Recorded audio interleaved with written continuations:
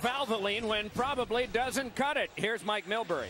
No, when you lose a draw in your own zone, Doc, as a centerman, probably doesn't cut it when it comes to covering your man. You got to be right with him. Here, Danny Briere loses the draw to Patrice Bergeron. Bergeron goes to the front of the net, and the rest is history. An easy tap and goal. Fortunately for, for the Flyers, they've gotten past probably. Now look positively at the third period.